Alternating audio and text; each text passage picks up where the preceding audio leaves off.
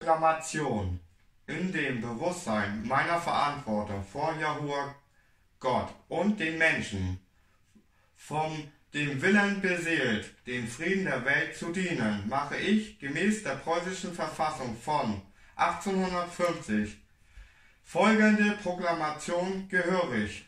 Im Namen Jahusha Jesus Christus, Immanuel, dem König aller Könige, bitte ich um mein Erbe, von Jahua Gott gegeben, den Boden meiner Heimat, Preußen, der preußischen Boden, der meinen Vorfahren als Erbe gegeben wurde. Darum fordere ich hiermit meine ererbte Staatsbürgerschaft des Königreichs Preußen ein und die damit verbundenen Boden- und Lehnsrechte. Ich nehme hiermit Schironowski beim Wort. Ganz Preußen mit der Hilfe Russlands wiederherzustellen. Dies soll geschehen, ohne die dort lebenden Menschen zu vertreiben.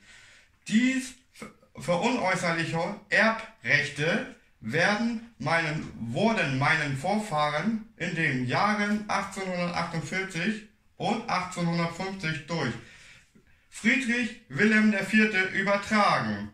Mit der preußischen Verfassung von 1850 in Verbindung mit dem preußischen Landrecht ist der Mensch mit Beginn der Geburt Träger aller Rechte und ich nehme dieses hiermit wahr. Manuel aus der Familie Schröder zu Lübeck.